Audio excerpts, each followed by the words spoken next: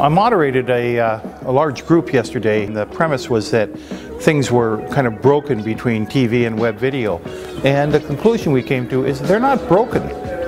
Things are not broken between TV and web video. They're just talking a different language.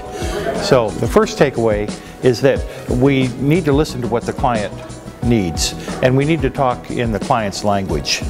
And the second takeaway is that we need to recognize that while uh, web is sold on one basis and that television is sold on another basis, it doesn't mean that they can't be sold together. We just have to do a little bit of fusion of data and, and we have to get more to the table together so that we can understand how to bring the right packages to uh, the advertisers and the agencies. I thought it was really good to get both sides to the table and see what was going on.